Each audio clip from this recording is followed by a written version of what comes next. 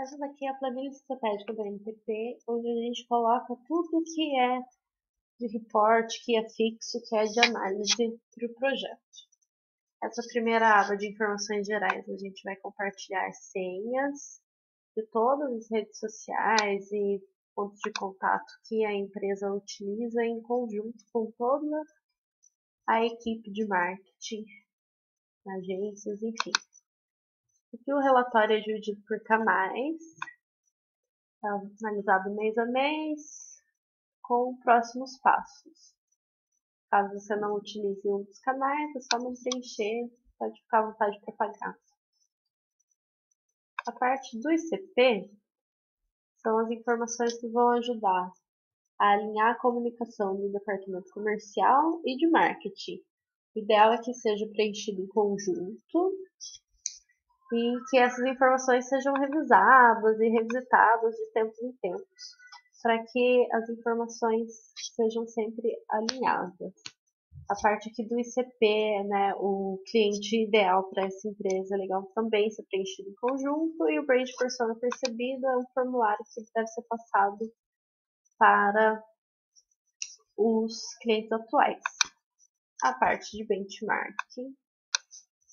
Aqui o ideal é analisar pelo menos três, dois concorrentes diretos e um aspiracional, e analisar principalmente os pontos fortes e pontos fracos da comunicação deles para você entender aonde a sua empresa pode atacar, aonde a sua empresa talvez não consiga concorrer e por aí vai.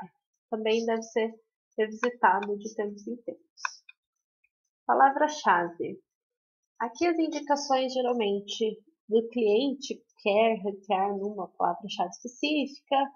É, aqui a, a MTP a gente geralmente procura palavras-chave com um volume grande, com uma concorrência mais baixa, que sejam estratégicas para a comunicação da empresa no SMrush, que é uma ferramenta paga de SEO. Geolocalização, palavras-chave que os concorrentes estão usando também são interessantes. Temos algumas dicas, né, que o Word CPCL tendem a converter mais, se é sazonal ou não, também é interessante analisar isso para alinhar as campanhas. Falta blog. Aqui tudo que vai ser analisado no blog, que vai entrar no blog, vai ser destrinchado aqui antes para ajudar na redação. Então, espaço de e-mail, tipo de conteúdo, se é claro ou não, título, sugestão no Suggest, já colocar os H2, fazer uh, o check-in da otimização com o plugin do Yoast ou os insights do SMrush.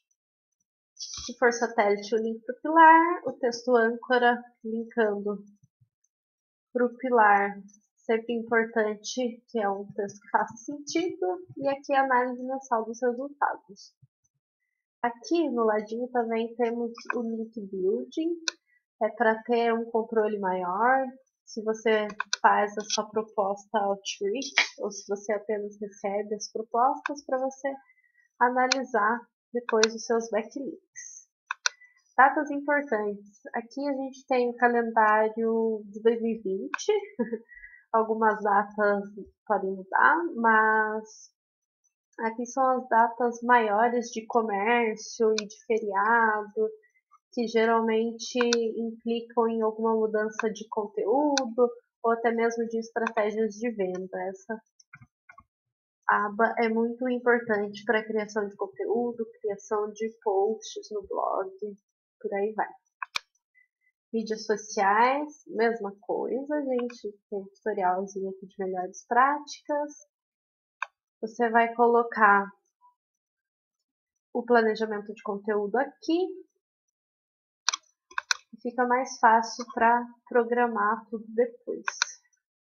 E a última aba de e-mail marketing também serve para programar os posts, tipo da editoria, quem foi que escreveu,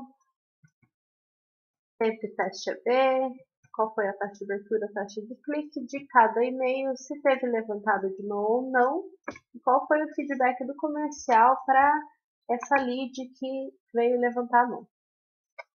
É isso, gente. Espero que a planilha ajude na organização do projeto de vocês.